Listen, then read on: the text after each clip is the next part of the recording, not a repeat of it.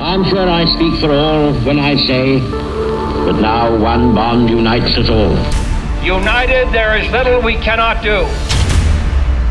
We stand today. Often at odds, hitherto thought overwhelming. Let us therefore brace ourselves to our duty. So that no potential aggressor may be tempted to risk his own destruction. So let us ask again, have we reached the goal?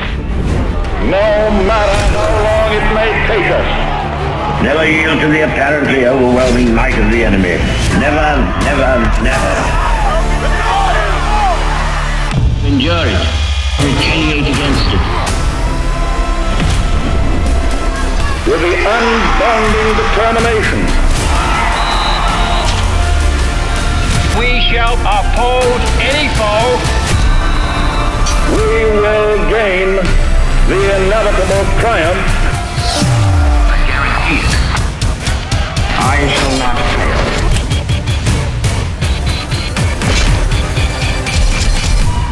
We fight to the end, it can only be glorious.